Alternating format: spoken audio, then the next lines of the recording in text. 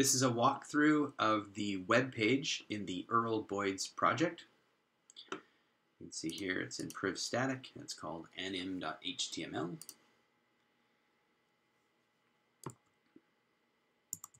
I'm using MacVim. This is the nerd tree controller.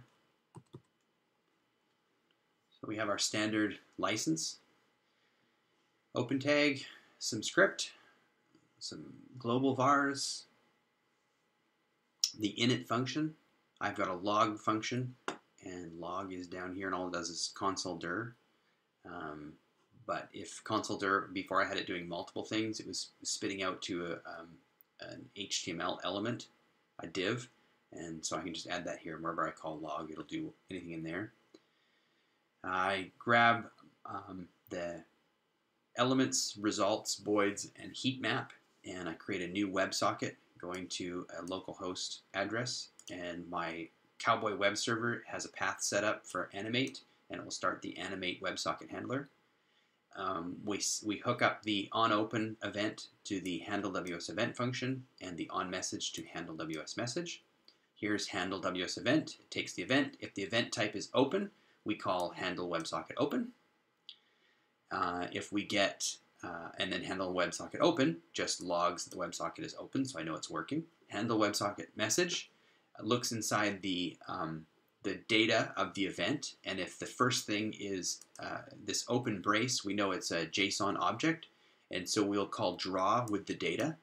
Otherwise, we just log whatever it was. Uh, so we've got a message back from the WebSocket that wasn't some JSON data, we just log it. Here's our start function it uh, when we let's see when we have the WebSocket open some at some point we call the start function and we send to the WebSocket. I need to rename this. It's not an example WebSocket anymore. We send it the height and the width. I don't bother JSON encoding this. It's fairly easy to parse out on the web page although I probably should. And then we send start oh, this is hooked up to a start button. And then we send through the WebSocket whatever, to the handler, we send a start. It, will come through in binary on the other side. We just tell it to start, and then we click the stop button, uh, we send stop. And it'll, again, it'll come through as binary. We have our draw function, so we're going to get some JSON. We're going to parse it with the JSON library, or the JSON whatever, uh, class object, I guess, or whatever it is in JavaScript. Then we're going to grab our canvas, uh, using whatever was in the object, it'll have a canvas field. So we grab the canvas field out and then grab whatever canvas that is. So there's one for animation and one for the heat map. If we can get a context from that, then we'll um, then we'll grab. Uh, I think if it has a function for get context, then we'll grab the 2D context from it. So if it's a canvas object, then we'll blank out the canvas uh, so that's a function that we have down here.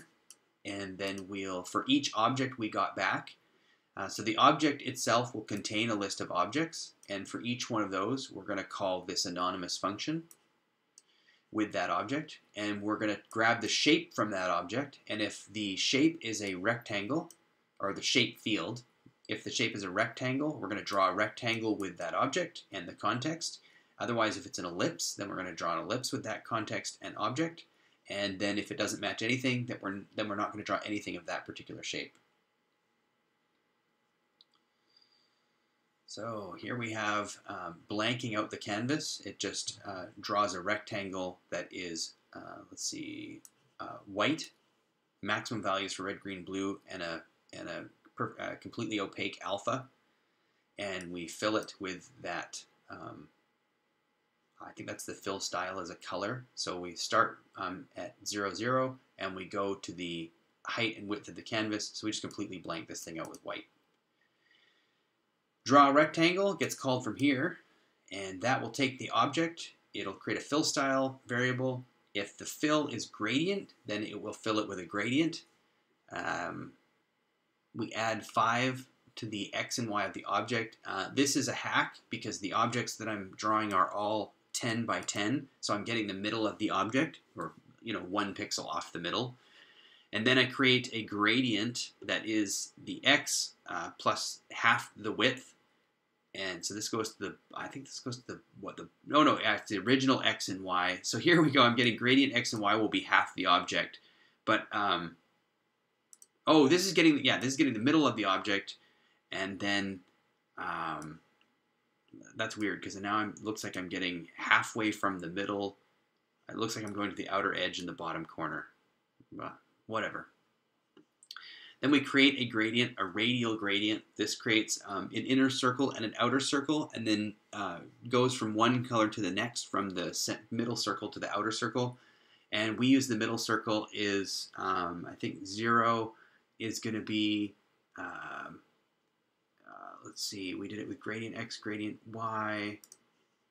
Yeah, so the inner circle is going to be, uh, the outer circle is going to be the width of the object, and the inner circle is going to have width zero and that's fairly standard. So it'll, it'll immediately start changing from whatever the first color is to the second color, uh, right from zero out to the edge of the second circle. So we set up these two circles for the gradients. You can look up on the web how to do gradients. And then we set the fill style to be gradient. You see we had our, our variable outside. Otherwise, if it's not a gradient, then we just do, um, we get the uh, fill style from the object itself. And then um, or we log that rather, and then we grab the red, green, blue, and the um, alpha out of the object that we got. And so now we have our fill style, and then we set that on the context, and then we fill the rectangle from x, uh, y, width, and height. If we draw an ellipse, same thing with all that gradient crap, same circular gradient, and you know set the fill style, and then we do a path, and we um, we have the path set in the object itself. So we have the x, y, the number of radians, and the start, uh, the start um, uh, where we want to start, where we want to end, and then we do a line to um, to go back to the origin. So if we've drawn an arc, how does this work? Begin path, it does an arc, and then we, yeah, then if we line to, so if we drawn an arc, you know, are partially around, then we line to the middle, then it'll automatically, and then we call close path, it'll automatically go out. So if we've left a partial arc, it'll go back to the middle of the arc and then draw out. So this will be the Pac-Man's mouth. And then we close, yeah, close the path, then fill it. So that's it. It's all just drawing code. So I'm just receiving things from the WebSocket and then drawing it out. And then here is where we set up our body. Uh, so when we do onload, we'll call init. Then we have a button that'll do start, button that'll do stop, and then we have two canvases, one for the heat map and one for the boids. So that's the web page. It's pretty simple. It just has some code to receive uh, JSON and then draw some particular objects. So it's just a drawing API from a WebSocket.